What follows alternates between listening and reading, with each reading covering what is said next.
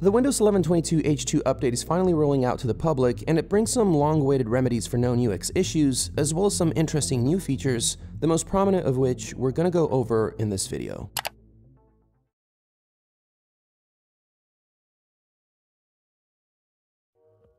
So first and foremost, I'm glad to report that the drag and drop restrictions in regards to the taskbar are finally lifted. I find it kind of strange that this is something I'm praising Windows for in the year 2022, but regardless, the drag and drop capabilities, or lack thereof, have been a huge oversight in the launch of Windows 11. Now they're back, and really, I can't say anything other than that this is a good thing. For a brief moment, I honestly was kind of concerned that Microsoft might actually choose this hill as the one to die on. Luckily, earlier insider builds proved that this would not be the case, and now the latest public version of Windows 11 proves that as well. So from now on, to add a shortcut to the taskbar, you can just find an icon, click and hold, drag it down there, release, and there you go. The only caveat is that it appears to not work if the icon is being dragged from the pinned app section of the start menu. But hey, what are you gonna do? Same method applies if you want to import files into an app that is open on the taskbar. So let's say you're working on a video project and you want to quickly import some files into the editing software. Once again, you can do it the old-fashioned way, just as you could in Windows 10 and earlier. Even though you still get this little forbidden icon, just ignore it. State-of-the-art technology, really.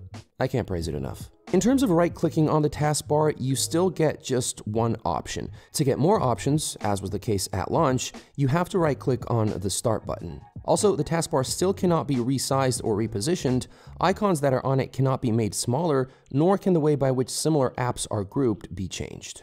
Windows 11 will be introducing a new overflow feature though, which makes it so the taskbar can accommodate more apps and also makes it easier for you to navigate through them in the case that they become overabundant. Notice how I said will be introducing as this feature is actually not included in the current 22H2 update, but is promised to roll out as part of the October 2022 Moment update.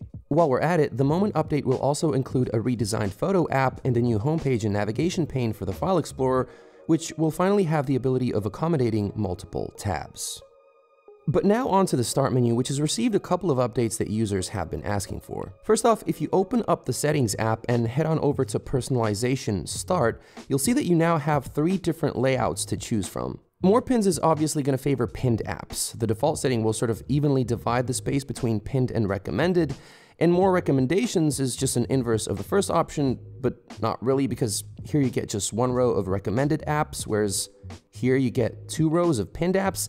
Doesn't really matter, you get the point. Also, the start menu now gives you the ability to create app folders, and it works exactly like it does on most mainstream smartphone operating systems. So you select a particular app, drag it over another that you wish to group it with, you release, and there's your folder. You can also give the folder a name and rearrange the order of the apps in it, but in terms of functionality, that's about it. Now I have to say, even though these new features and options do add to the user experience, they haven't really changed my personal workflow all that much.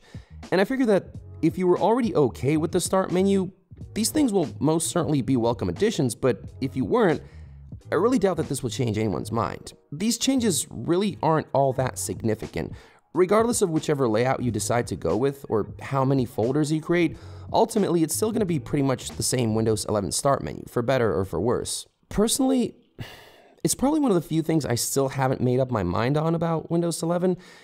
I assume I would appreciate it more were I to use it on a touchscreen device, but for the way I do use it, I don't know, I, it does the job. I'm not blown away by it, I don't hate it, it's just fine.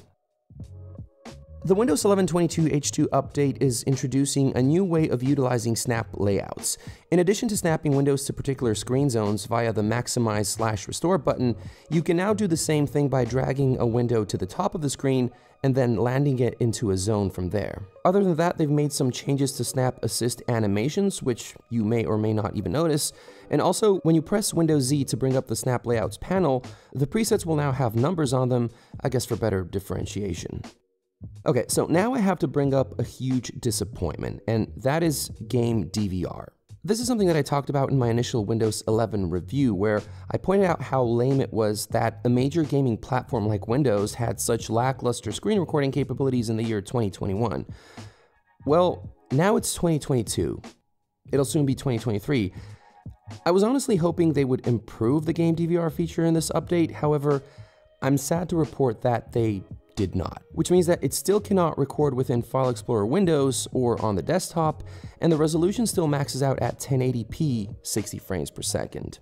In the review, I said that that was still serviceable, but now, almost one year later, I really have to say I'm not quite sure for how much longer that is going to be the case.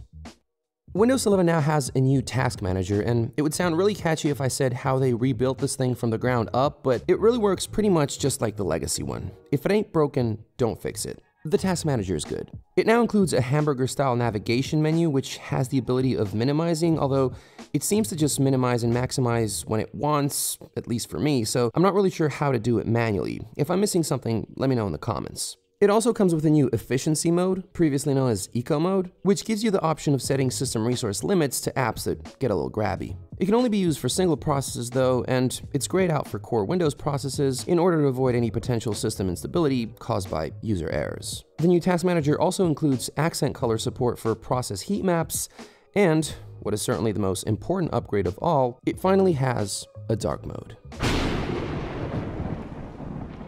Over the course of the past year, I was patiently waiting for Microsoft to add some differentiation between folders that have content and ones that don't, and finally they did it. But in my humble opinion, their implementation, how do I put this? It doesn't look that great. And I really don't know what more to say about this. I mean, the functionality is definitely there. It's been better for my personal workflow, but this here is still peak Windows folder design if you ask me. Definitely not this. So yeah, and finally, I want to talk about Windows Movie Maker. It's not there, but you know what is? Clipchamp. So, Clipchamp is a company that Microsoft acquired in 2021, and their video editing software now comes pre-installed with Windows 11. And I really have to admit, anything that may be lackluster in regards to their screen recording capabilities, they kind of make it up for it with this, which is something I would say with honesty, if only it didn't require an internet connection for it to actually, you know, work which is just classic Microsoft and kind of sad really because it actually is a pretty useful tool, especially for people who are just getting into video editing. In terms of functionality, it doesn't just fill in for Windows Movie Maker, it actually gives you a lot more options, just with the exception of offline usage, of course. Also, because it's an online tool, they track your activities, the highest export resolution appears to be just 1080p, and render time is quite slow. But if they just made it a standalone app that you could use offline, they would have a really good thing here. Like this, eh, it is what it is.